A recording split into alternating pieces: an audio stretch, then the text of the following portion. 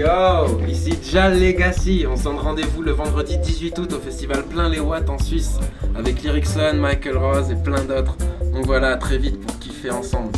One love.